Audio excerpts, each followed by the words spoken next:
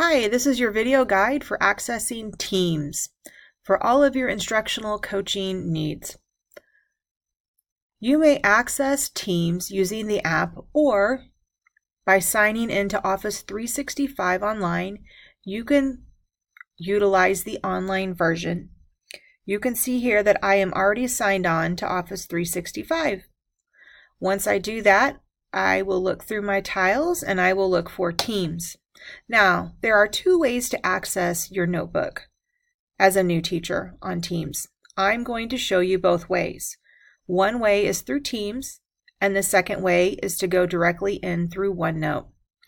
First, let's go in through Teams. Once you click on Teams, your Microsoft Teams will load.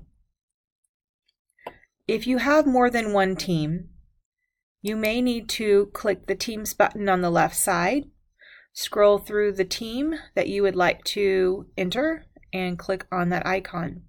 So here I'm looking for Coach Potter, New Educators.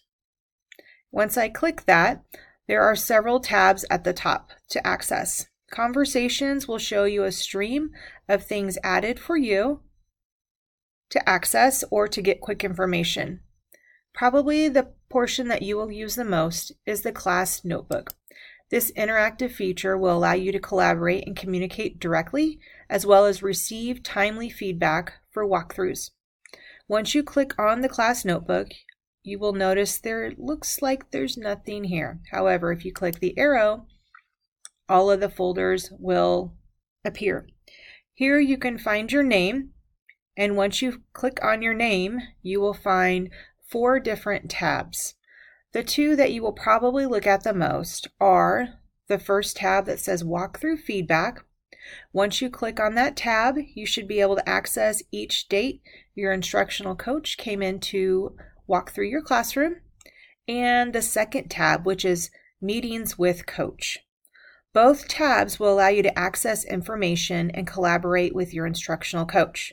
You are encouraged to check this after walkthroughs, meetings, and even during your meeting bringing your laptop with you and opening up your Teams page to your OneNote. The second way to access your collaboration OneNote is to go instead through Teams through OneNote.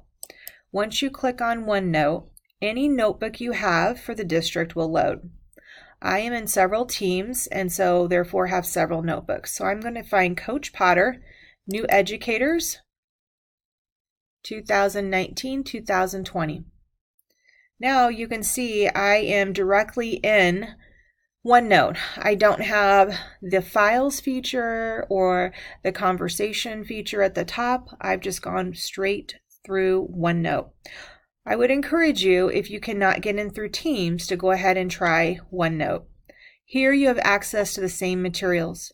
You can simply find your name, click on it, and then access the portion of your notebook that you would like.